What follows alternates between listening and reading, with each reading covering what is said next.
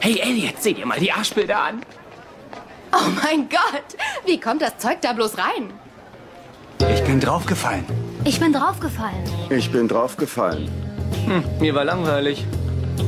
Die Kollegen in der Notaufnahme haben eine Kiste, in der sie den Mist aufheben. Ist das wie die Kiste für Fundsachen? Wie die Kiste für Fundsachen? Hm, Sehr vornehm ausgedrückt. Das Ding heißt Arschkiste. Das ist doch wohl nicht Carlas Kuli. Ich hatte keine Zeit zum Einkaufen. Ah!